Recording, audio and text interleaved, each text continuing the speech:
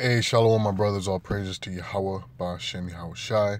This is your brother Ayathun with another video.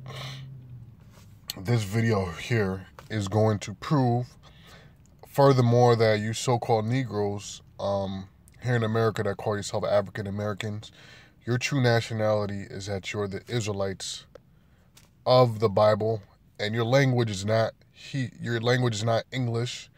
It's not uh it's not a, a um, uh, Arabic, okay? None, none, and it's none of the African languages, because you like to give yourselves these crazy names like Shaquisha and you know like Tupac and all these different names, which um you believe that you're Africans, um, and you believe that you believe you'll take on any nationality on what you what, what you really are which you are the Hebrew Israelites. Your original language, your original tongue is Hebrew.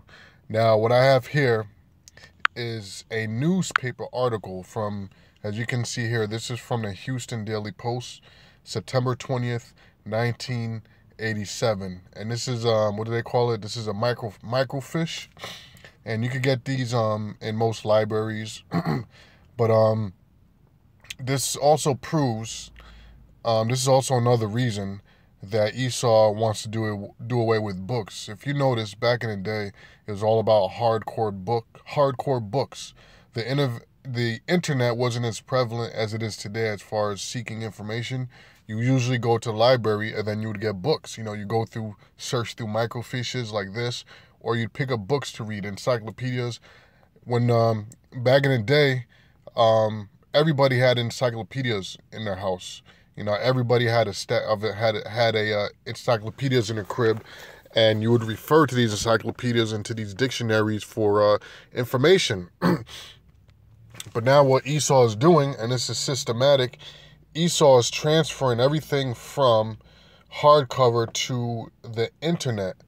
And I'll tell you why. The reason is why. The reason why is because through the internet you can change history. A hardcover book, you cannot change the history. That's why the scriptures say, Blessed is he that readeth in Revelation 1 and 3. Okay. And then, uh, was it Job 8 and 8? I believe it says where to, to prepare the search for their fathers. So, these hardcore books, once a book is written, it's written. That's why the scriptures say, as it is written. When something is written, it is it cannot be changed. Now with digital media, you can edit, you know, you can change history in a couple minutes. You can go in there and change history. So when somebody Googles something, it's whatever. Go to Wikipedia, for example. Wikipedia is open source, open information. Anybody could go on Wikipedia and edit the information. You don't know where the information comes from. Um, so the internet, anybody could change. Esau could change whatever they want. Okay. Now there's certain things on the internet like this right here, what we're looking at, which are copies of actual written material that existed um, in ancient days that have solid information that if you really want to find the truth about something, you can search these things out. So this is when they're going to pass the net neutrality ban to where all this stuff is cut off, period. And I'm going to show you why. Now, as I said, this is a Houston Daily. This is an actual newspaper. This is a scan of it. And I'm going to scroll here now, if you can, I'm sure you brothers can read this. Now, if you right here, it says, this is an article in this paper, Negro who can write Hebrew. Now, once again, this is from, hold on, this is from 19, uh, I just had a slack here.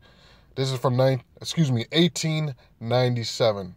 All right, September 20th, 1897 and it says here, I just had a Negro who can write Hebrew.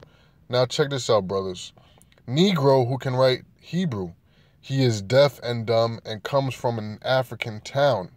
All right, which we all know that the uh, Jake fled to West Africa, pursuant to Revelation. Um, was it the twelfth, the twelfth chapter?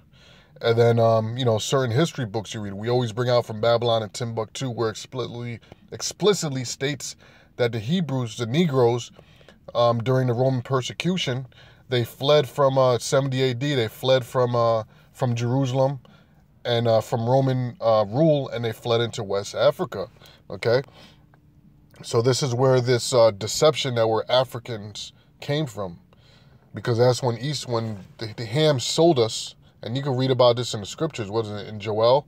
Okay, when the Ham sold us to um to Esau, we were in, living in West Africa. So this is why it says he is deaf and dumb comes from an African town because that's where the slaves came from.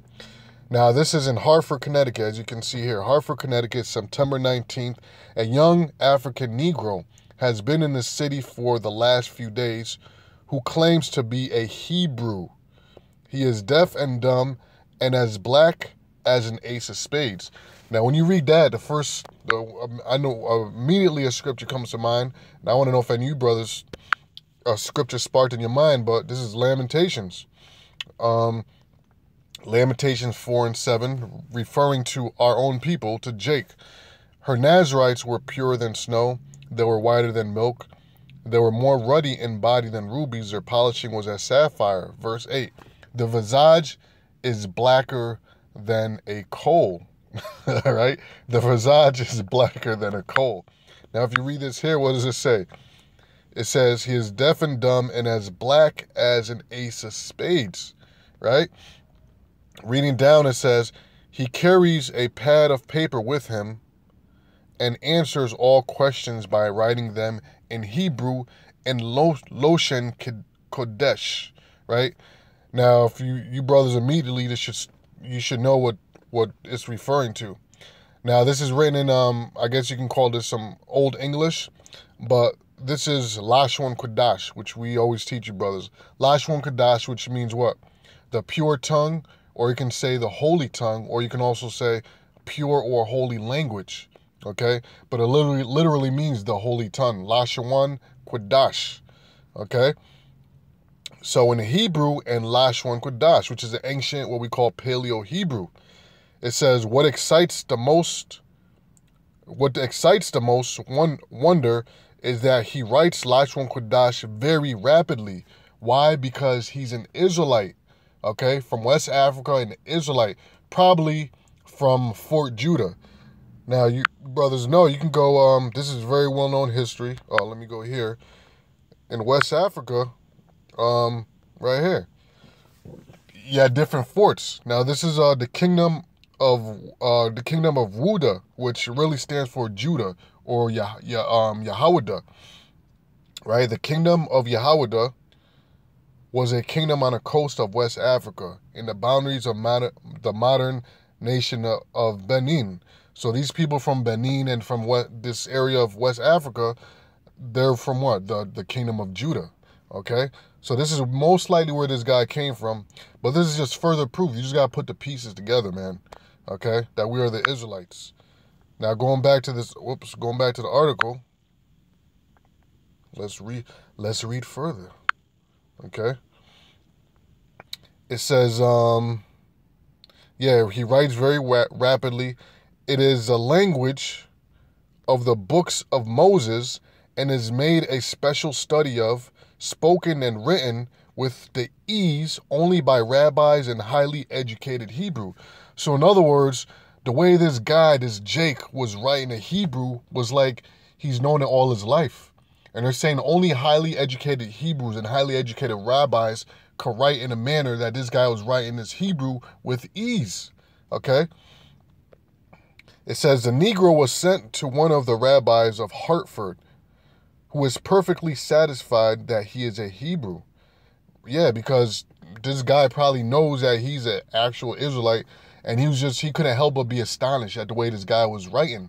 And they probably use this guy, you know, they use him for some information gathering to help them write some stuff or to help them correct um, whatever they was working on, right? It says a Negro was sent to one of the rabbis of Hartford who is perfectly satisfied that he is a Hebrew.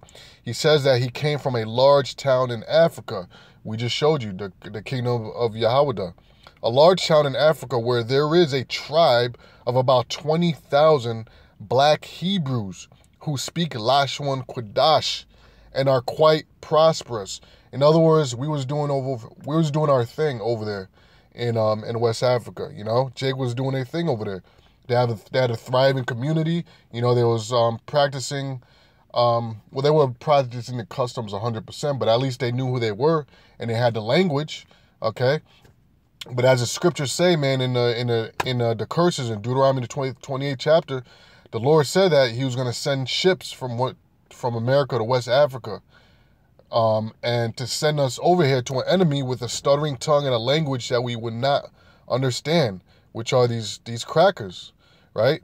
And from then on, the curses heavily fell upon us, and we totally, going back to Jeremiah, was it 17 and 4? We tell, totally fell off from our heritage to where today you tell a, a Negro he's a Hebrew and that his original tongue is is Hebrew, and uh, he's he's gonna look at you like you got ten heads, you know. But the Most High is gonna return all this back to us, you know. Um, let's go to Zephaniah. Zephaniah, I believe was three and nine. Okay, I haven't brought this down in a while. Zephaniah 3 9, For then I will turn to the people a pure language, that they may call upon the name of the Lord to serve him with one consent. And that pure language is what? Is that Lashon Kodash. Okay, the Lashon Kodash, which this man was writing in. You see? So it says, and uh, the Negro was sent to one of the, the rabbis, okay, of Hartford, who is perfectly satisfied that he is a Hebrew. He says that he came from a large town in Africa where there is a tribe of about 20,000 black Hebrews who speak the Lashon Kodash, Hebrew, and are quite prosperous.